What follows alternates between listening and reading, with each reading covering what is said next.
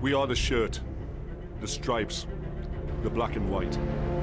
Our homes adorned with memories. We are the expectation, the conversation, from the moment we wake to our final thoughts. We are hope. We are pride. We are belief.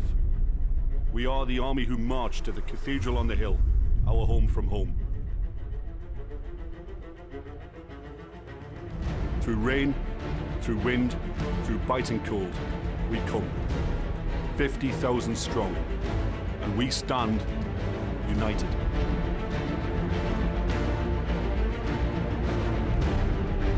We are the heart and soul. We are the passion. We are our history, our present, and our future. We've been hurt, we've shed tears, but we are loyal, forever true. In times of success, in times of failure, we never hide nor falter. Tioté!